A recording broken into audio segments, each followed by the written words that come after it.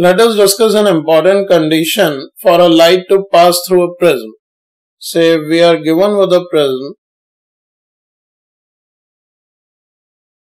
and uh, say a light incident onto a matte surface in a grazing fashion that means that uh, I is equals to 90 degree.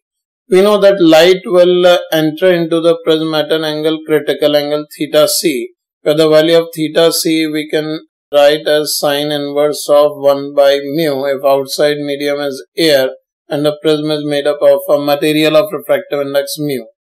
Then on the other matte surface, the incidence angle will be a minus theta c because the sum of these two internal angles uh, is always equal to prism angle. Now in this situation here, if a minus theta c is more than theta c, then in this situation we can see if this a minus theta c is more than theta c, the light will be internally reflected from the other face. It will not emerge out into air. So here we can write if uh, a is more than 2 theta c, just I am uh, simplifying this uh, inequality. If a is more than 2 theta c, then uh, we can write this implies the value of R2 will be greater than theta c. R2 is this angle which we are taking as A minus theta c and light ray will suffer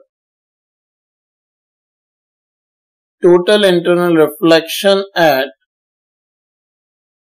the second matte surface of prism.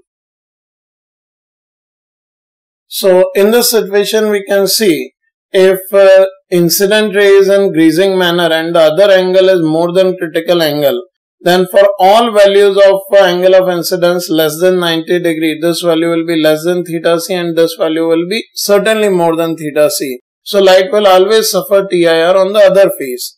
So here we can write on a note which is basically the condition for a light to pass through the prism that is uh, for any prism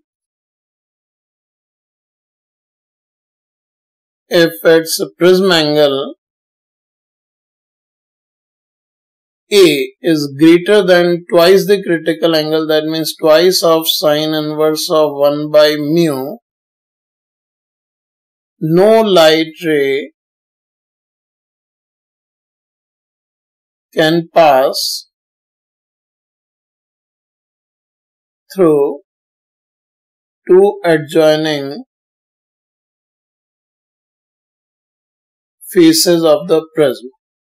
So always remember whenever the prism angle is more than twice the critical angle, light ray will never pass through the two adjoining faces of the prism. That is the condition for light to pass through the prism. That is A should be less than 2 theta c for light to pass or if A is more than 2 theta c, light will never pass through the adjoining faces.